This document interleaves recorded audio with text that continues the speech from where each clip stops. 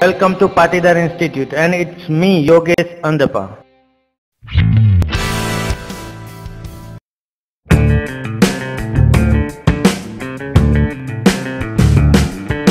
Dear friends अगर आपके पास छोटी या बड़ी कंपनी है तो आपको कुछ ऐसे प्रश्नों का सामना करना पड़ता है, जिसमें गलती दूसरे की होती है और भुगतना आपको पड़ता है लेकिन ऐसी गलतियों को भी रोकने के लिए एक तरीका है, जिसका नाम है स्मार्ट पेपर वर्क तो सबसे पहले मैं आपको बताऊँगा कि गलती कैसे होती है, कैसे आपको लाखों का चूना लगता है, और फिर बताऊँगा उसका सॉल्यूशन मान लीजिए कि आपके पास एक छोटी या बड़ी कंस्ट्रक्शन कंपनी है, और आपकी कंपनी में 40 से 50 वर्कर काम करते हैं।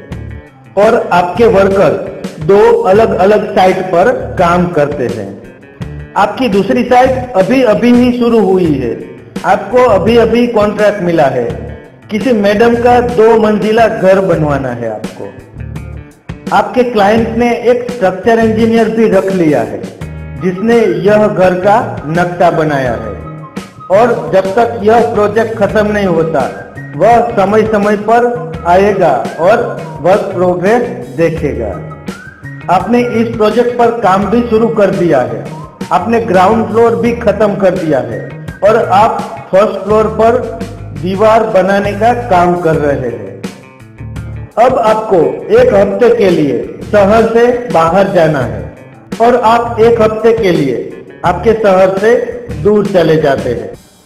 लेकिन बाहर जाने से पहले आप अपनी साइट पर जाते हैं। और वहाँ जो फॉरमैन रखा है, उसे सलाह मशवरा करते हैं और उसके बाद आप जाते हैं। आपके बाहर जाने के ठीक दूसरे दिन, आपके क्लाइंट का इंजीनियर वह साइट पर मुआयना करने आता है। वह फोरमैन को कहता है कि उसने जो नक्शा तैयार किया था, उसमें फ़र्स्ट फ्लोर और सेकंड फ्लोर पर दीवार बनाने के लिए सॉलिड ब्लॉक का उपयोग करना है, ऐसा लिखा था। लेकिन अब सॉलिड ब्लॉक की जगह होलो ब्लॉक का उपयोग करना है।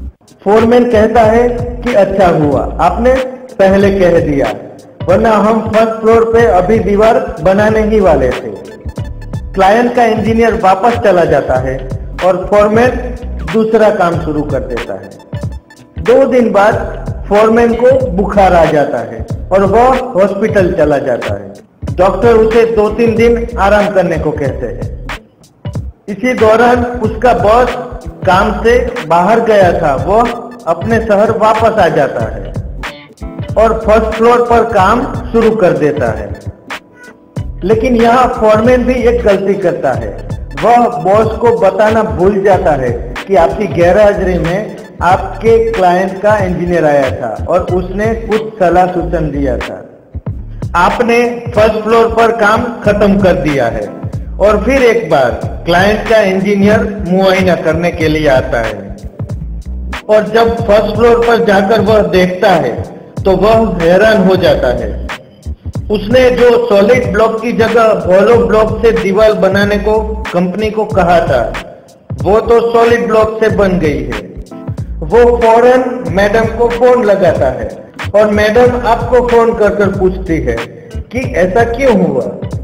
फिर क्या है? गलती आपकी है।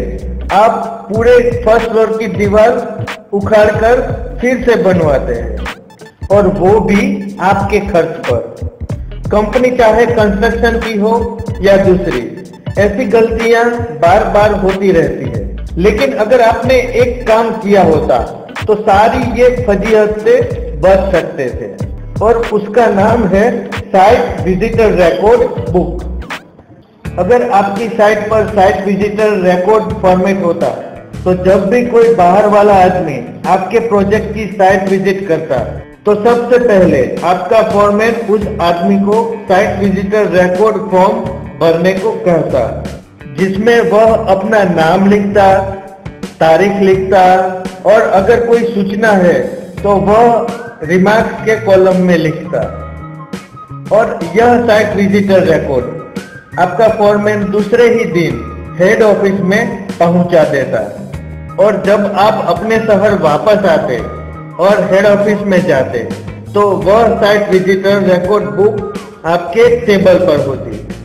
आप उसे देखते, पढ़ते, आपको मालूम हो जाता कि आपकी गैराजरी में किसने साइट विज़िट की है और कौन कौन सी सूचना दी है।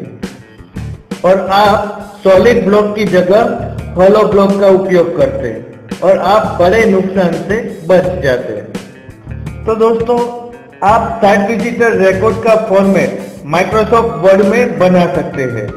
कैसे बनाना है? तो चलिए मैं आपको बताता हूँ। तो आपको सबसे पहले लिखना है कंपनी का नाम। उसके बाद कंपनी का नाम के नीचे लिखना है हेड ऑफ़िस का एड्रेस और टेलीफोन नंबर और साथ में ईमेल एड्रेस उसके नीचे लिखना है साइट विजिटर रिकॉर्ड उसके बाद है सीरीज़ नंबर उसके बाद साइट का नाम साइट नेम उसके बाद डेट यानी तारीख. उसके बाद विजिटर नेम यानी विजिटर का नाम. उसके बाद है डेजिग्नेशन यानी उसका होदा वो इंजीनियर है प्लम्बर है स्ट्रक्चर इंजीनियर है। अगर वह गवर्नमेंट का आदमी है तो कौन से डिपार्टमेंट से आता है? वो भी यहाँ लिखा जा सकता है। उसके बाद है रिमार्क्स का कॉलम साइट विज़िट करके अगर वह कोई कमेंट करना चाहता है तो वह रिमार्क्स के कॉलम में लिखेगा। उसके बाद है ऑथोरिटी सिग्नेचर ऑथोरिटी सिग्नेचर यानी आपकी कंस्ट्रक्शन साइट पर आप जो आदमी वहाँ देखभाल के लिए रखते हैं, उसकी साइन यानी फॉरमैन की साइन और अंत में विजिटर सिग्नेचर यानी जो साइट विज़िट कर रहा है, उस व्यक्ति की सिग्नेचर साइट विजिटर रिकॉर्ड के दो महत्वपूर्ण फ़ायदे हैं। एक, कि कोई भी आदमी गवर्नमेंट का हो या प्राइवेट का वो फालतू में साइट विज़िट नहीं करेगा।